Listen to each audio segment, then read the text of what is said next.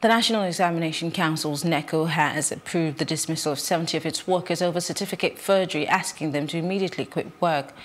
The NECO governing board carried out dismissals according to a release yesterday after a report on certificate verification was carried out by its management committee, which had invited the workers with alleged questionable credentials to appear before it, after which some workers reportedly confessed that their papers were fake.